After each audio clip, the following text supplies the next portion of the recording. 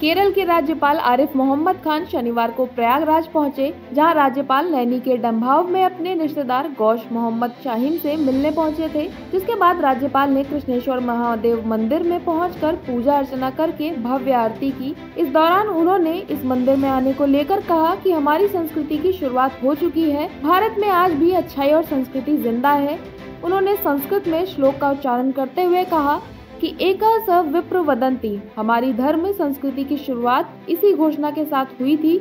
और बड़े गर्व की बात है कि संगम नगरी में आज भी संस्कृति बरकरार है।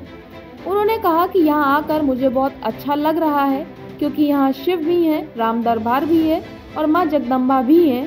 साथ ही कहा कि धर्म और रिलीजन में फ़र्क होता है और इस फ़र्क को हमें समझना होगा। इस मौके पर पूर्व प्रधान डांडी सीताराम त्रिपाठी, कथावाचक बटुक जी महाराज गौश मोहम्मद शाहिम अब्दुल हमीद सहित अन्य लोग मौजूद रहे है इसलिए कि यहाँ पे भगवान शिव भी हैं यहाँ पे राम दरबार भी है यहाँ माँ जगदम्बा भी हैं तो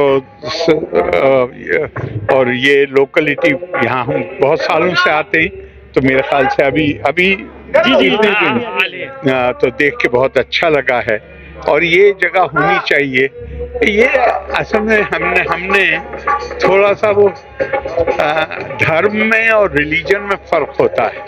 ये भारत की संस्कृति है। ये हमारे सबकी हमारी सबकी साझा संस्कृति प्रयागराज जो है धार्मिक और आध्यात्मिक नगरी कही जाती है। ऐसे में ये ढवाओं में जो इतनी बड़ी मंदिर विशाल बनाई गई है इसके ही पास में एक मस्जिद भी है तो उसको उसका भी निर्माण वही तैयारी है। वही वही हो। हमारा एकम सद विपरा बहुदा वदंती ये हमारे दे हमारी संस्कृति की शुरुआत इस उद्घोषणा के साथ हुई है। ये ऋग्वेद से है। तो भारतेशु स्त्रिया पुरुषो नाना वर्णा प्रकृति नाना देव अर्चने युक्ता नाना कर्माणी करवते। एक नहीं मैं आपको सुनाता चला जाऊँगा। आकाशात पतितम तोयम यथा गच्छति सागरम। सर्व देवा नमस्कारा केशवम पिट्टी गच्छति।